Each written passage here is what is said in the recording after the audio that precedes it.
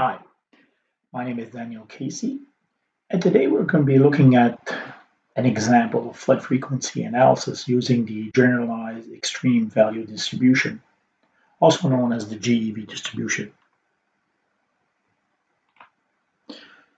So for this example, we're going to use the data from the Little Southwest Miramichi River in New Brunswick. Uh, the station number is 01BP001. And here's the link how to get access to this discharge data. So when you put in the station number, you'll go down to the download discharge. And basically this is the CSV file that I'll be working from, which is the annual extreme data uh, numbers or values. Now this is the cumulative distribution of the GEV function if you need to use it or apply it directly where you have the scale parameter, the location parameter, as well as the shape parameter. But if you want to calculate your QT for different recurrence interval, i.e. the two-year flood to the 100-year flood using the GEV, you can transform this first equation into the second equation by replacing your recurrence interval f to x by this equation here, which is basically uh, the link between the recurrence interval and the cumulative uh, function. So I'll be going into R, which is a, a program which you can download. Uh, it's an open source program. You just have to go in Google and search R project and download R. And we'll also be uh, using R Studio with this particular application. So this is an example of this program that we'll be describing in a few minutes. There's two packages that are required to run the GEV model, uh, which is this one and this one, specifically to run the GEV fit uh, using the maximum likelihood function and the QGEV. Like in any calculations that you are doing, uh, this is basically a, a, an example, but people need to make sure that they're they, they know what they're doing before you calculate some of these uh, flood frequencies. And this is the final result. This graph is the observations of the uh, 60 years of data for the Little Southwest Miramichi for the daily annual maximum discharge, as well as the two-year, the five-year, the 10-year, 20-year, 50-year, and the 100-year flood. And this is plotted on what we call a Gumbel plot, which we'll describe this in a few minutes. So that's basically the end result. And the end result is very important that it is plotted so that you can see the relationship between your recurrence interval calculation, the GEV fit, for instance, against your observational data. So let's go into the first file, which will be the downloaded file from the website. And this is the, the file that you'll be getting. You will have to delete maybe the top line here just to make sure that you just you're just left with the parameters. This is your maximum daily discharge that you'll be working with. Also make sure that you delete any columns that do not contain one. I've described this in a previous video because the parameter one is for discharge. Parameter two would be water level, so you don't want to mix water level with, with discharge values. Now, if we look into the R file, which is basically this file, let's go right at the top. You can do a few items here. We're basically just cleaning up everything, making sure that everything's um, cleaned up or you have no data into some of your da database. You can get the working directory, but you can also set this working directory using the uh, set working directory here to the source file. So basically you don't have to make any changes. So this is what I've done in this particular case.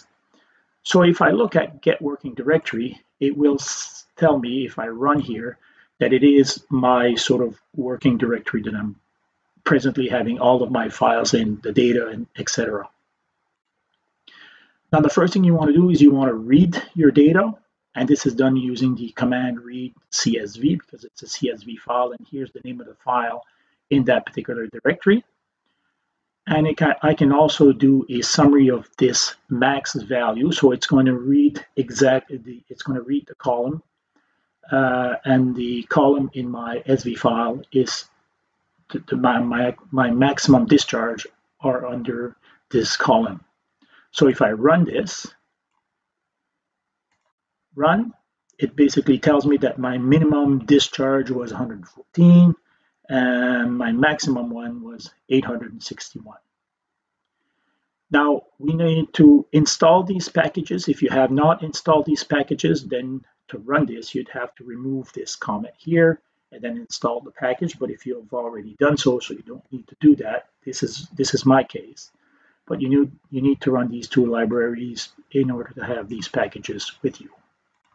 So run these two packages. Now I'm just going to transfer from my data set data one and the column, which was the max value into Qmax. So that's just going to transfer my data into Qmax. That's fine. And I'm just going to create here a data frame. This is just a, um, a way of putting out my data into a, a matrix. So you run this. And here the P is going to be the results of my GEV fit of Qmax. So if I run P like so, this gives me the results underneath here. If you want to see all of the results, it's all there. But what I need to do from this, I need to extract from this results, this P value here, my, uh, my parameters, which are the location, scale, and shape parameter. And then I need to calculate the, the, the, different flows for different recurrence intervals. So the 2, 5, 10, 20, 50, and 100 year flows. So basically I just run this, and that's going to give me my flows as well as my parameters into this matrix, which will be Qt. So run it. Now I'm going to define these rows and columns so that I can output them into a file. So you run these two. And finally, I'm going to write the results, all of these results, into a file which will call, which will be called 01BP 001GV out in this particular example. So you write, you run this. So it's basically done. Now, what I would do is I would go into this file and read it. Uh, let's find it. Let's find it on my drive. So it would be this file, which is the results.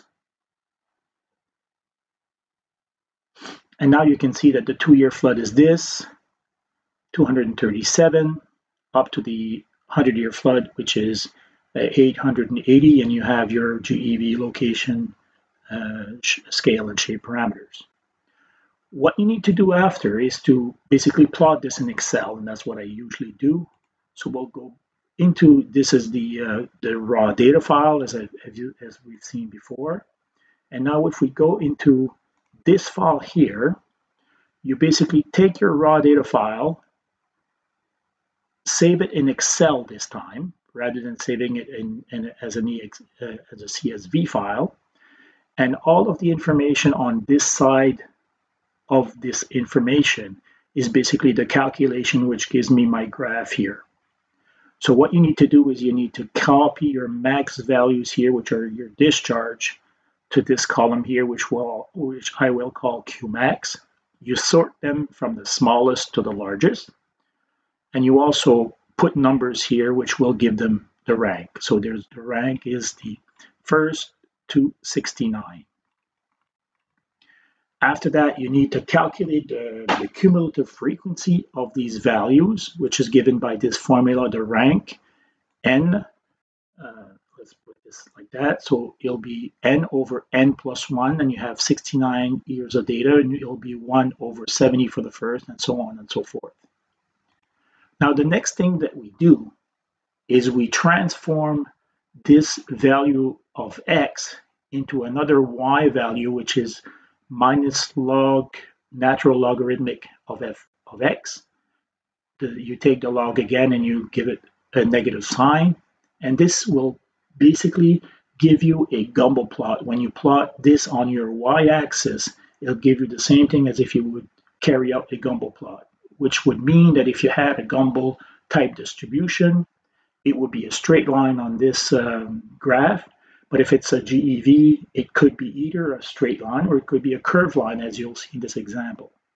So basically, you calculate all of these values from the first to the last, and this is just a formula using f of x, as you can see here. And at the end, you've once you've done that, you basically copied your output file into this, your count, which is basically this is the output file that we had from the R program. You just put the frequency of these values, the two-year frequency here, basically which is calculated using the recurrence interval formula.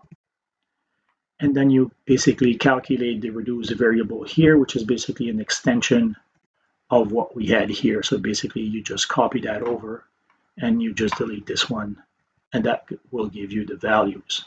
So the 100 year, just as a, as a check, the 100 year value gives you a, a f of x of 0.99 and it also gives you a reduced variable of 4.6. Then what you do is you plot these values in x and you plot the discharge in y and that gives you this this type of graph. So this is your observations. Here we plot two graphs. One is for your observations and the other one is for the the estimation of the GEV value. So the estimation of the GEV value are the here for the 2, the 5, the 10, the 20, the 50, and the 100-year event. And as you can see, they were also in the table. They were also in the table below. They were also in, the, in this table. So this is the part of the line that you plot, and this is part of the data points that you plot.